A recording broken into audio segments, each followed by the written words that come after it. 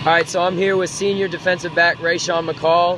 Um, Rayshawn, you tied the the um, the Clark Center Clarke Central interception record tonight.